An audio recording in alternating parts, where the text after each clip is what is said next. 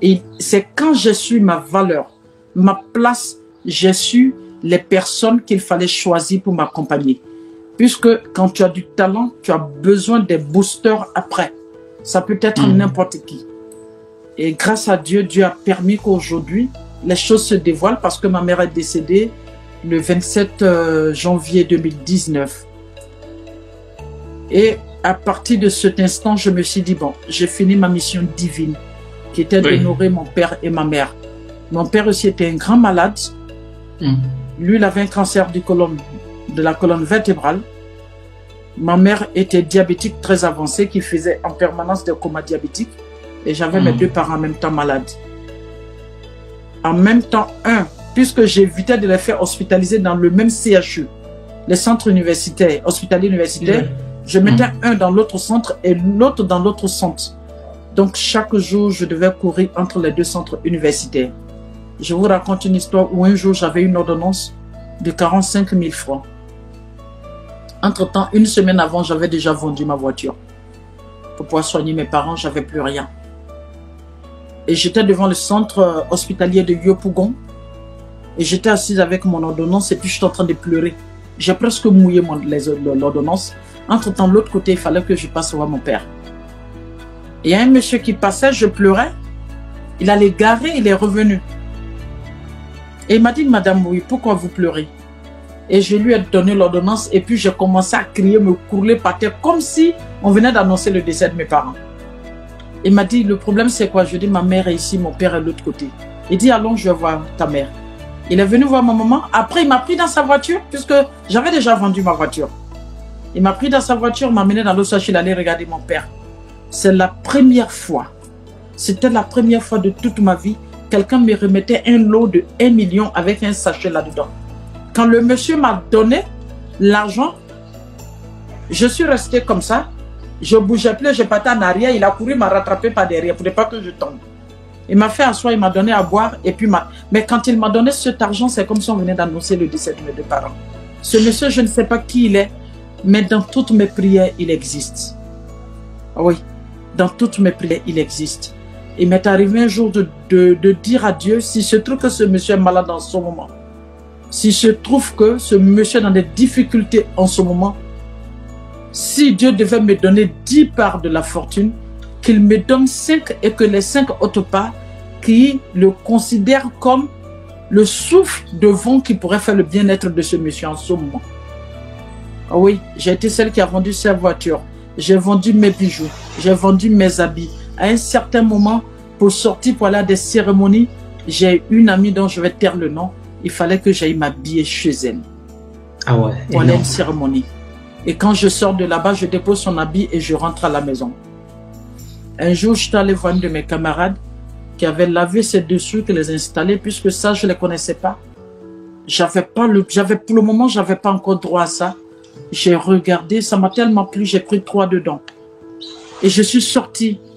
Après, je suis revenu, je lui ai dit, je suis désolé, j'ai pris trois têtes dessous sans te dire.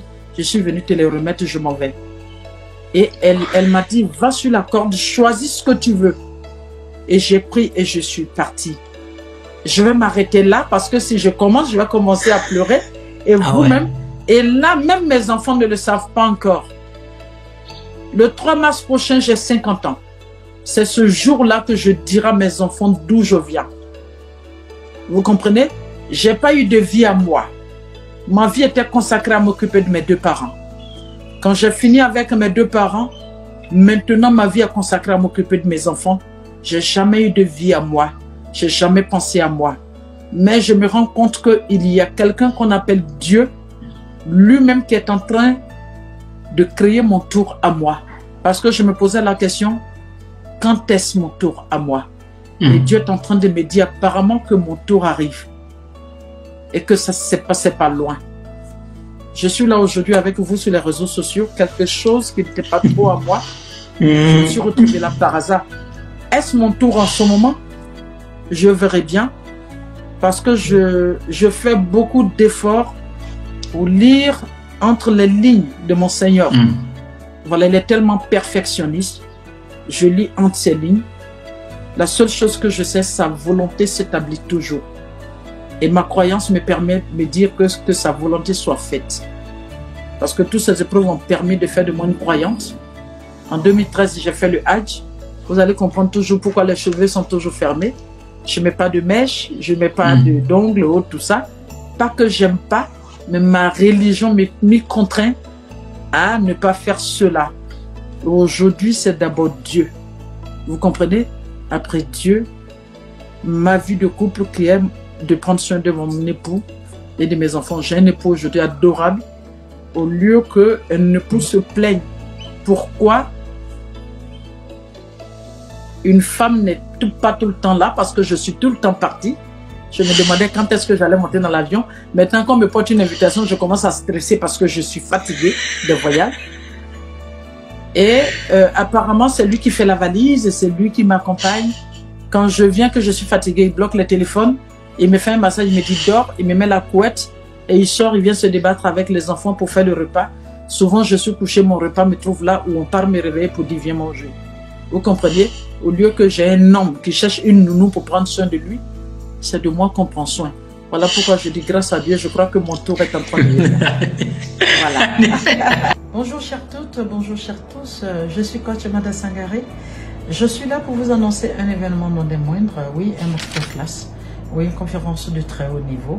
Ce samedi 18 décembre euh, à partir de 14h, heure Côte d'Ivoire. Voilà, c'est une conférence au Zoom euh, sur le thème comment gérer l'infidélité d'un homme. D'accord? Avec seulement 50 euros, on se retrouve en ligne pour se donner ensemble les astuces qu'il faut pour booster ce fléau qui commence à miner nos foyers. D'accord? Samedi 18 décembre, heure 14h. Conférence de 2h30 minutes. C'est pas grande chose. On y va alors. Vous avez le lien, inscrivez-vous et puis ben voilà, on se retrouve.